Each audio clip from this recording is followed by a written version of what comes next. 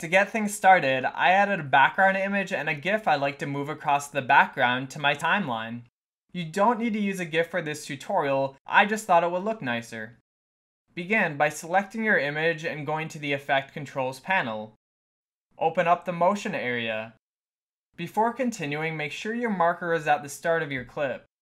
Now, I want my car to start off screen, so I'm going to change the horizontal position value. Click the keyframe timer to create your first keyframe. I'm going to drag my time marker to the end of the clip and then change the horizontal position of my car to the far right. This will automatically create an ending keyframe. Now when I play back my video, I have a simple movement animation. While this works great, I'm going to show you a different way.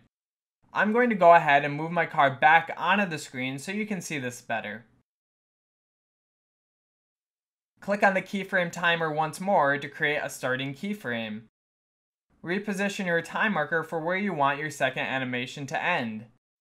Double click on your image and then drag it to where you'd like it to go. When you release, a new keyframe will be created.